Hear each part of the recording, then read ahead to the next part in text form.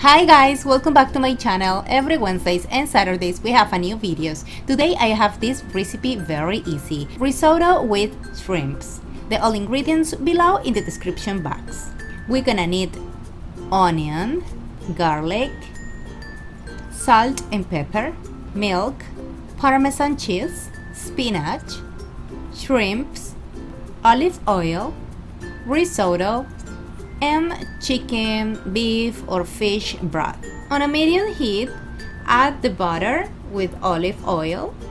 Now I'm adding the garlic and onion and stir for a couple of minutes and then we're gonna add the risotto and stir for a few minutes until the risotto are clear and then we're gonna add the liquid in this case it's chicken broth just a little bit and keep moving. When the risotto is dry just add more liquid. You have to repeat this step few times until the risotto is already cooked.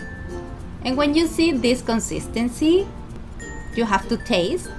For me my risotto is very good but we have to cook just few minutes more now it's time to add shrimps, salt and pepper and continue stir for a few minutes more.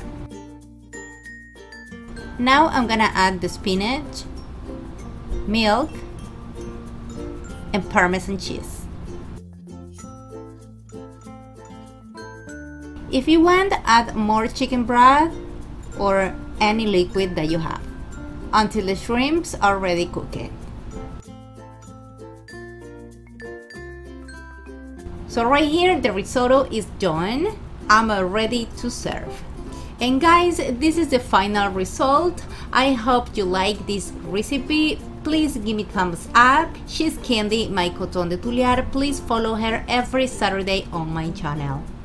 And please don't forget to subscribe to my channel, follow me on my social networks and activate the notifications to be able to see my new videos every week. See you next time. Bye bye.